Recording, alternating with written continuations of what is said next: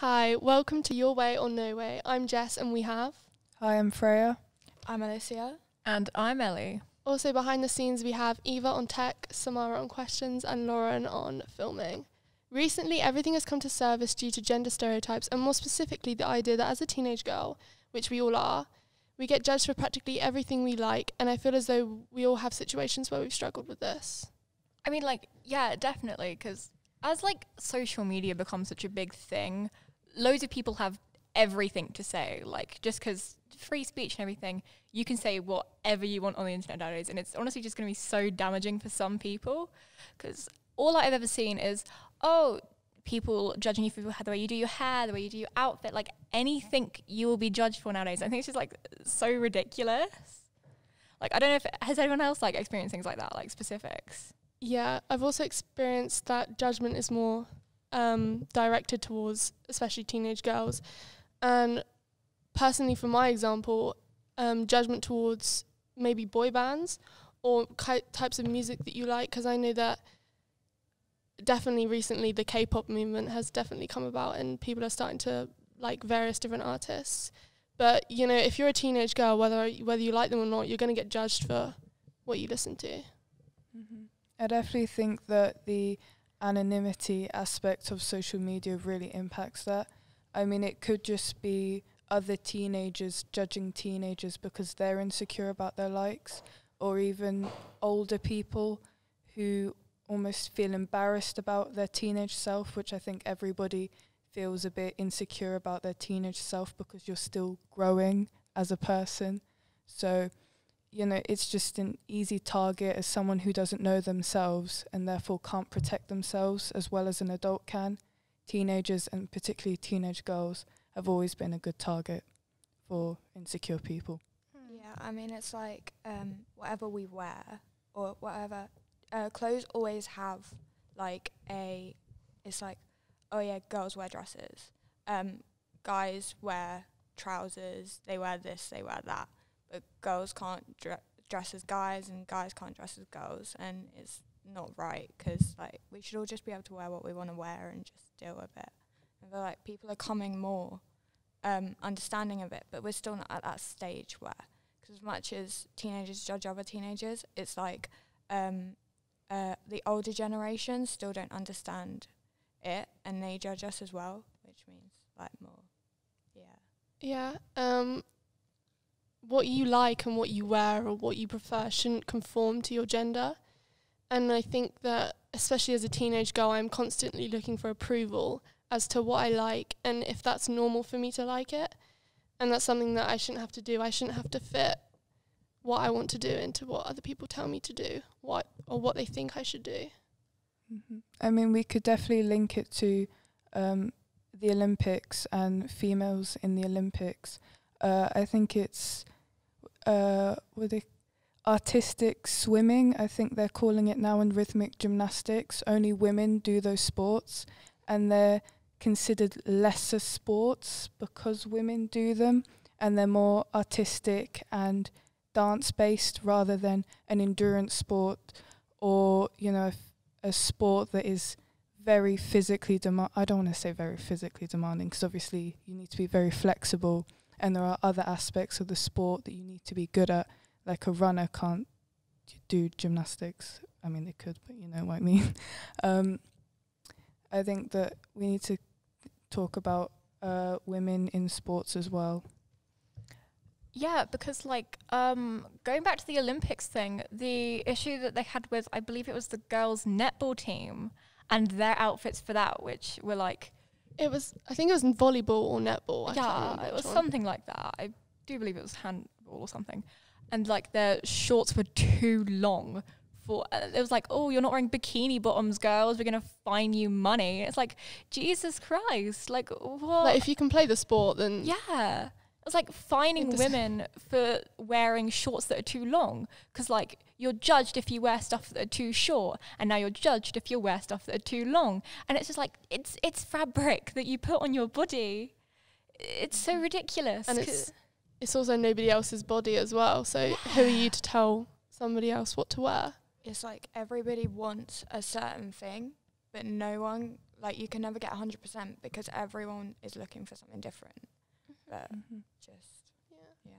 men will even in my school guys will take their tops off while playing sports and like wear whatever the hell they want but if i was to do that i'd you know get arrested Yeah. it's like it's so stereotypical and like just segmenting girls from guys just because who they are it's like idealistically no one should have their body viewed in that way just because of their gender it's so ridiculous Mhm.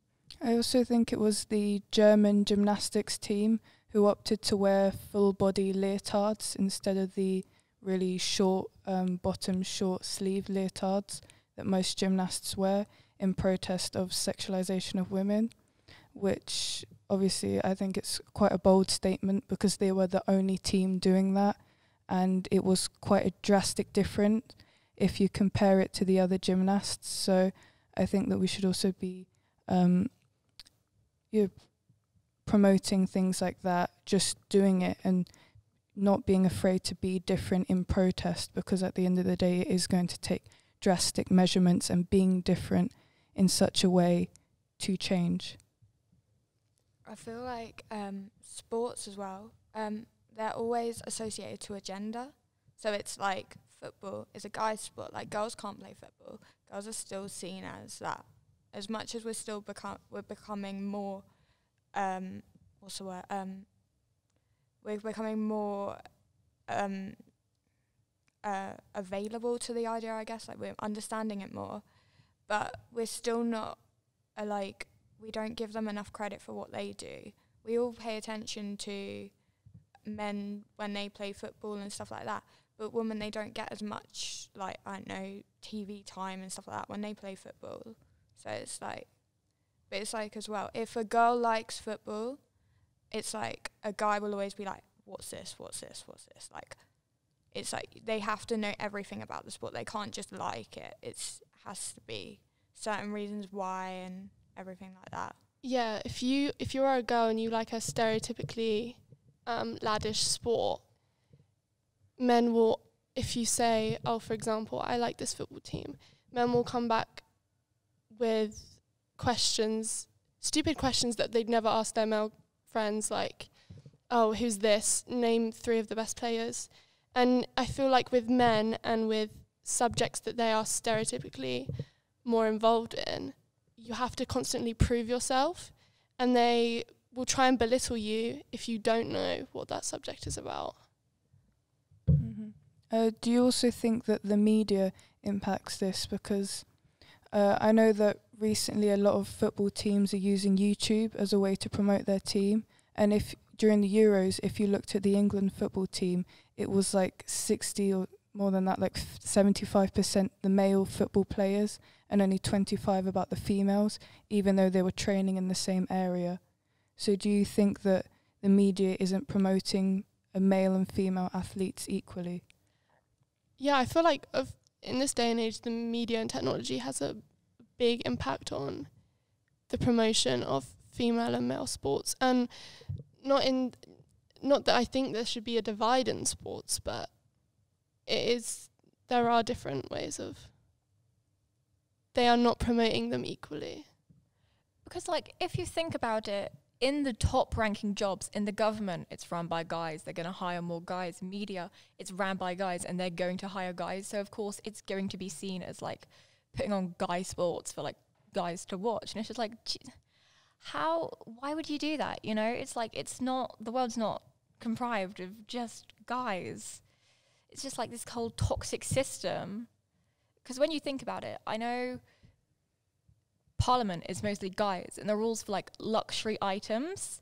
I remember seeing a thing about guys' razors, like razors are seen as mandatory, and female sanitation products are seen as like a luxury product, and that's why they get taxed. And I think, well, if it was the other way around and guys had to use sanitation products, you know that it just wouldn't be like that.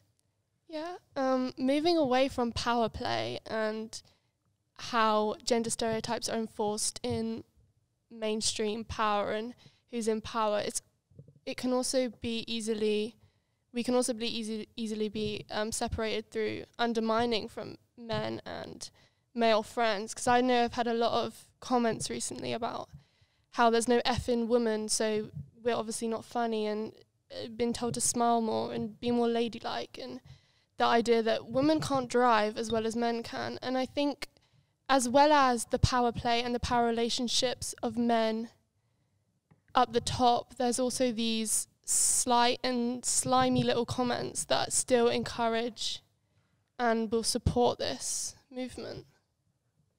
Yeah, well, it's like um, if a girl wears makeup, it's like, oh my god, you're wearing too much makeup. But if you don't wear makeup, you're not wearing enough makeup. Like, it's you can't win with anyone, and it's so difficult. It's like if you have, I don't know, like surgery or something. Everyone thinks they do it for other people, for other people's appreciation and other people's thing. But what if you're doing it for yourself? People don't think that it's like um, you're doing it for yourself. You're doing it because you want to do it. They think that you're doing it for other people's approval, when really you should just do stuff for yourself. And yeah. It's also the judgment on what women own, and also a trend on TikTok that has just become let's make fun of every single s- basic thing that a girl owns. For example, a Fiat 500, and then saying that they bought it out of daddy's money.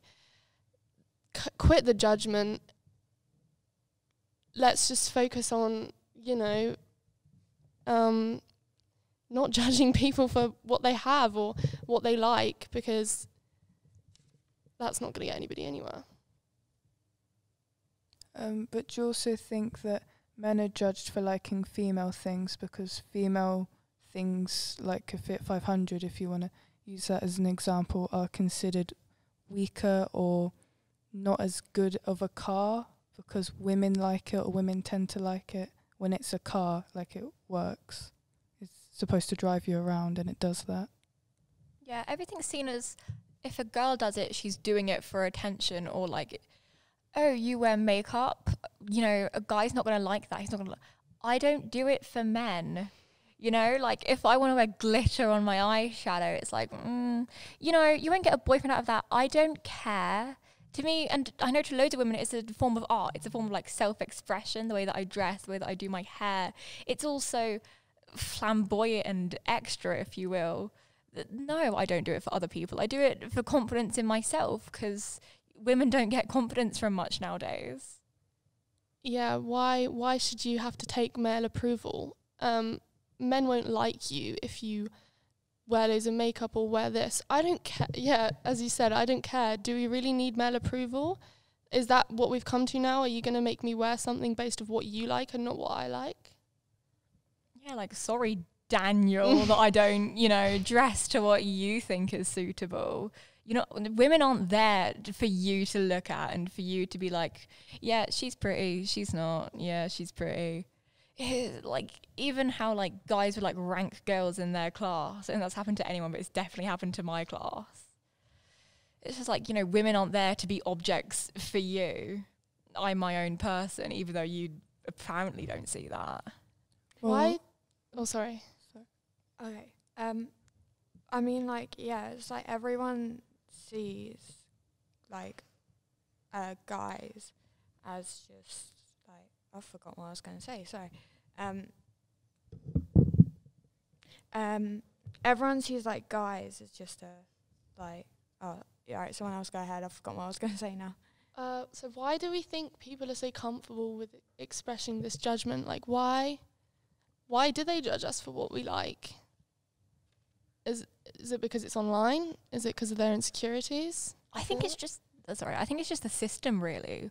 Like you grew up with your parents either telling guys, "Oh, man up, be more manly. You can't cry," or you know, your mother telling you, "Oh, that's not very ladylike. You have to sit like this and you have to dress like this. You can't wear that out." And it's just like at such a young age, you're told what you can and can't wear by your parents, by the schools. It's like keeping a look on look on a lock and key on like what your body can do. It's like you. It's. Mm. It's Well, is that system or is it built into the culture? Because when you refer to system, you of, you often think of things that are in place by law or by government, whereas social cues and stuff like that are often part of the culture. So I think that you know, people change the culture. So if we want to change the way we think, we have to do it ourselves. So um, to wrap up, I just feel as though, you know, no matter who you are, no matter what you conform to, just spread no judgment in what people like or what people want to do. Um, and just be yourself at the end of the day because to solve this issue is to just get over the negativity and then not play into their hands. So do it your way or no way. Thank you guys. This has been Jess. Freya? Alicia. And Ellie. And also Eva, Samara, and Lauren in the background. Thank you.